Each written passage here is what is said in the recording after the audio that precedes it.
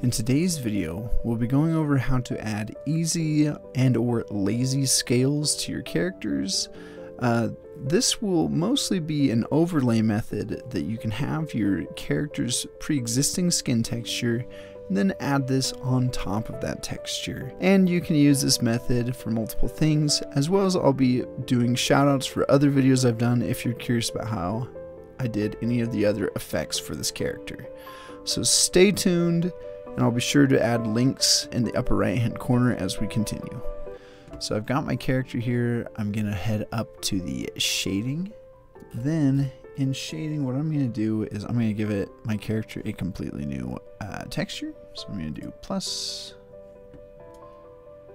So as you guys can see, my character has a completely new skin texture here.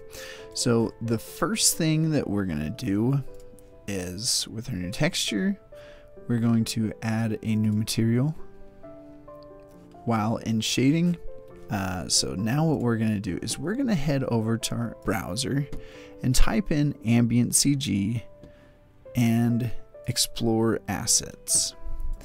And when exploring, we are going to search specifically for roof.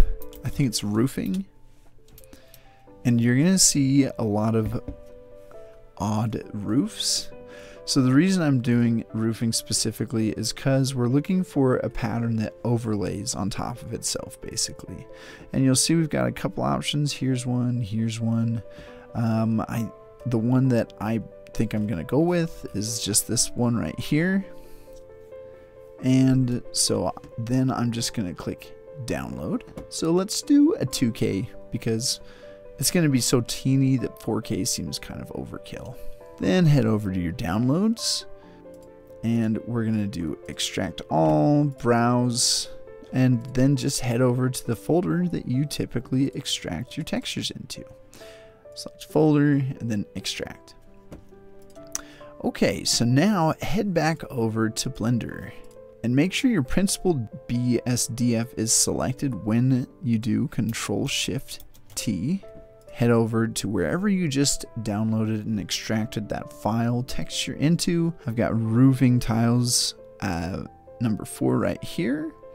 So then I'm going to select, you know, hold control, then hold shift, select all those. You should see in the lower left hand corner, principled texture setup, and then you select that.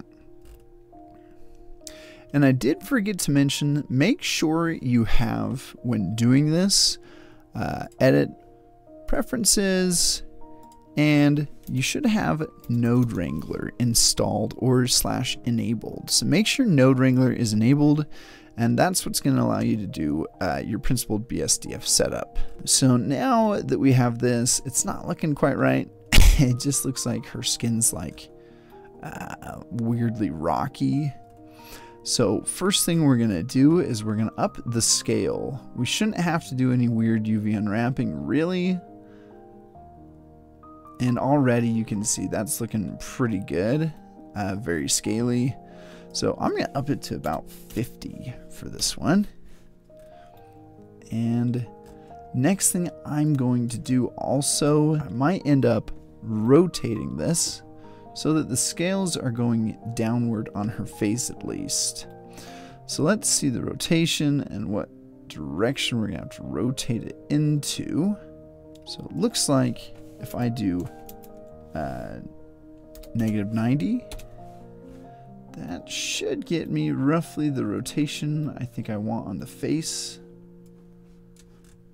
And the rotation looks fine on the arms as well. So now what we want to do is we want to make this look more like it's at least somewhat fleshy and not just uh, super dark rock on her face. We're going to add our own skin texture for our character and kind of overlay this texture beneath that one so that we'll have a scale effect but still have skin. So what we're going to do is still in shading, head down here and do shift A, search, and we're going to add an image texture.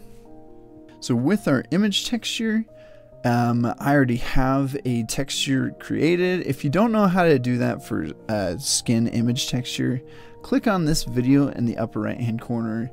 Uh, it'll show you how to make one real fast, and then come back to this video and we can continue. So I'm going to open up the skin texture, and then I've got Mystique Skin PNG, so I'm just going to open that. And then, um, just so you guys can see, I'm going to hook that up.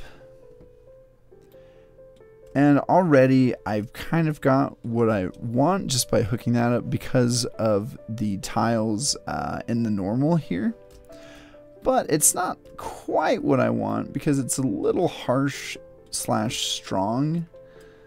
Uh, like to me that's a little too much and her skin looks very flat. Do shift A, then we're gonna add a mix, change it to color, uh, change that color to add and drop it. Okay, so there's that. Now we're also going to go to this texture that we disconnected and place that in B. And we're going to search color ramp. Um, I'm just going to actually put both these as close as I can to heighten the uh, scales and have them stand out more. And then the next thing that I'm going to do is I am going to make these scales a little bit more subtle. so what I need to do is head over the scale for the displacement on those scales. And I just need to lower this as well as lower the strength for my normal map. So something right around there, but let's up this scale a bit. Let's do like 0.02. And these scales are looking pretty good. They're a little bit more subtle, and that's kind of nice and what I want. So if you see, if you go back on the character, uh, just right, you'll see she still has scales on her arms. However, it's a little bit lighter. So the next thing that I'm going to do is I want this character to look more fleshy. So two things you can do to do that by adding pores because I know she has it scales, but we're also going to add pores to the scales because this is like a fictional character and I think it helps a little bit. To do that, we are going to do Shift A search and we're going to type in Voronoi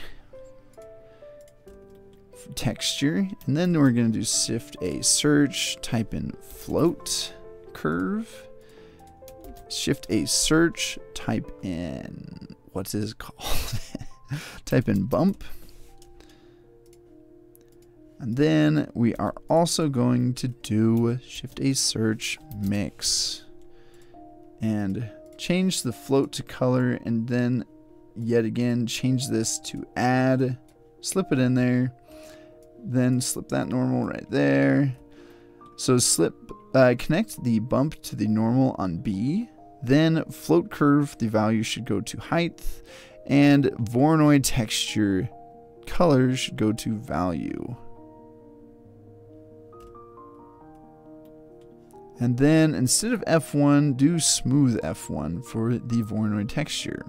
And we're going to want to increase this quite a bit, probably to something closer to almost 4,000. And right now, obviously that's too much. It's overshadowing the scale texture.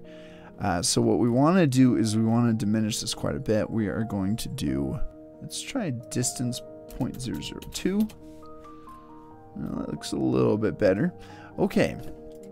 And then, yes, I know we've got a lot going on already, but let's just literally control, uh, select all of those pores that you just made, then do Shift D to duplicate, and we're going to do another add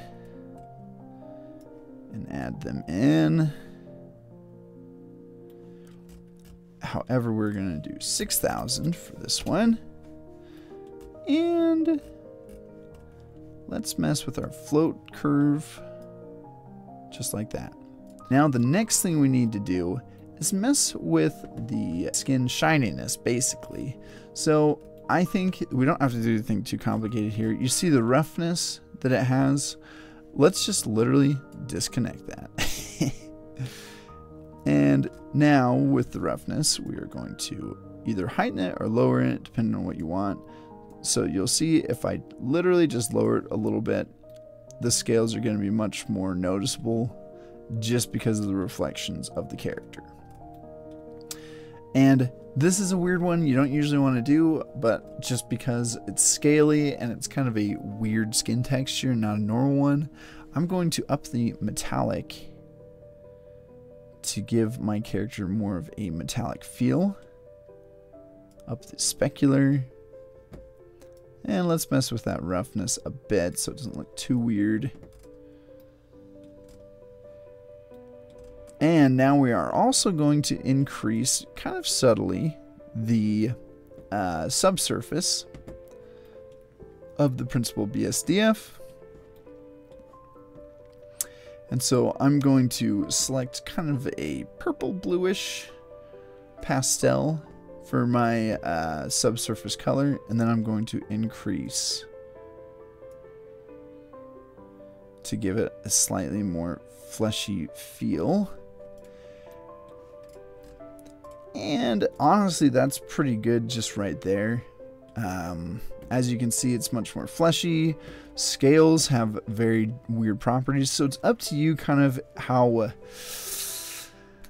I know this is a trigger word for some people, but how moist you want that those scales to appear. Um, but this is kind of a good consistency for me. Uh, it helps the scales stand out, and you can see slight pores uh, coming from the scales, and it's very subtle. So I think that that looks pretty good. I don't think I have anything else to show you. Um, thank you guys so much for clicking on this video. I hope it was helpful. There's certain things that you might be able to do better by following other videos. Um, but for Eevee, this is one of the few methods that I've found that looks good and works with Eevee as well. Because a lot of people just show for cycles. So. But anyway, thank you guys so much for clicking on this video. I hope you did find it helpful. Uh, I really appreciate it. And if it was helpful, any one of these three things would be extremely helpful. Please consider either leaving a like, comment, or best of all, subscribing to the channel for future videos. Thank you guys again so much. I hope you liked it and have a terrific day.